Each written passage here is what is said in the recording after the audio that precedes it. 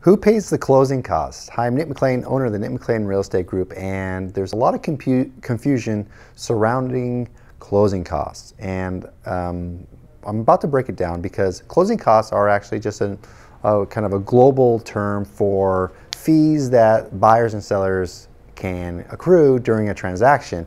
And what's interesting though, it depends on who you are. If you're the buyer, you have a set of closing costs, and if you're the seller, you have a set of closing costs. And we put it up on the board to make it really, really clear. So the seller, when you list your home on the open market with a real estate agent, you pay a commission. And you pay a total commission that goes towards the listing office that lists the home, markets the home, um, attracts buyers for the home. And then you have part of that commission goes to the buyer's agent. And that buyer's agent represents the buyer. They bring it they bring the buyer to your home, they show the home, they write a contract, and they help represent them. So you actually help pay for the other broker on the other side. And we actually shot a video on that, so check that one out about the commissions and who gets what. Now, the seller also pays excise tax. Excise tax goes to the state and the county. This happens, it's like a, also known as maybe a transfer tax in some other states. So the seller pays that. That's part of their closing costs. The seller also pays for title insurance. The title insurance uh, company will issue a policy for the property, and that is they pay the the seller pays the title insurance for the buyer. So they're actually purchasing this title policy for the buyer. And then the seller pays half of escrow. Okay, now here, bear with me. The buyer's closing costs, they pay half of escrow, and then they pay for their loan fees they pay for the loan fees. That's if they're getting a loan. So what are the loan fees? They need. It's different for every bank, every lender, uh, whether you're getting private money or or FHA money or VA money. So that that changes. Okay. So the buyer does not pay a commission unless they agreed to pay a commission to their buyer broker. The commissions are paid by the seller. And we shot that video because buyers need to realize that they normally, at least in our marketplace, the buyer isn't paying any commissions. They're just paying lease fees. Now here's the other cool thing. Buyers can ask, this is where it gets confusing. Buyers can ask the seller, and uh, they often do, buyers can ask the seller to pay their loan fees.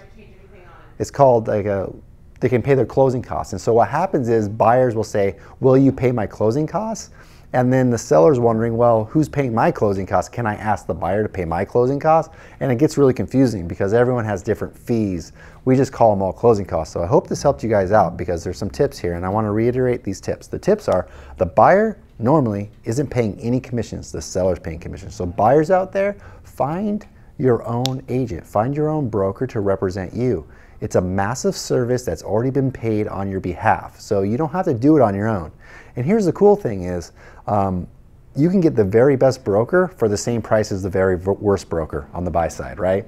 You could hire someone that you know, but is that person you know the very best broker out there? So you can get the very best broker. And we have buyer specialists at our office that are trained specifically to help buyers. The second thing is buyers can ask the seller to pay loan costs. Now, when you ask the seller to pay loan costs, they're going to factor it into the overall price. So if they're selling their home for 300,000 and you want them to pay $8,000 in loan costs, they're going to see your offer as not 300 but as 292. The benefit though is you it, you will be required to come up with less money to close on the house. Um, sellers out there, the commissions are negotiable. Excise tax you can't really negotiate. Title, insurance, and half of escrow. They're they're they're pretty close depending on where you go, but there's a number of different companies and they have different rate sheets on that. So if you have any questions on what your closing costs would be like if you decided to sell your home or what your closing costs would look like if you're looking to buy a home and how we can minimize your cash out of pocket for your down payment and your loan costs, reach out to us. We'll be happy to answer any questions you have.